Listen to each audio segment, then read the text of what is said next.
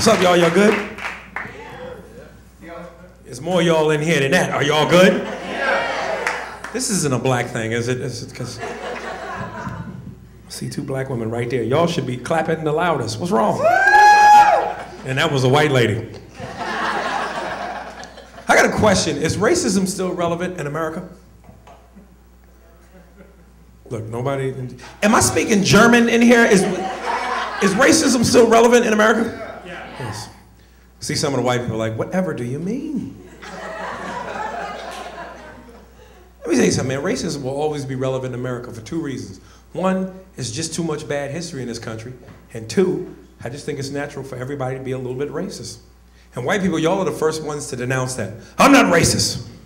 I'm incapable of being racist. My best friend is black.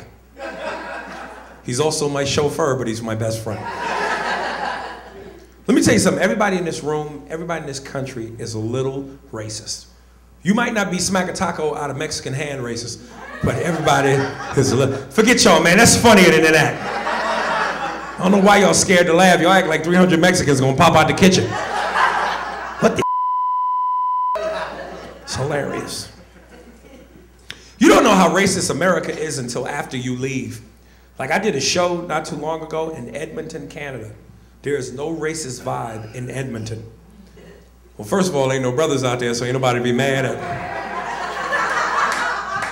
But the comedy club was inside this mall. It was like the world's biggest mall. I must have walked around that mall for four days looking for a black person. Finally, I saw one. I ain't even know him. I just ran up to him and hugged him like, dog, where you been? We need to stick together. He was offended. He was like, dude, get your hands off me, bro. That's totally uncool. I was like, they got him. They got him. It's too late.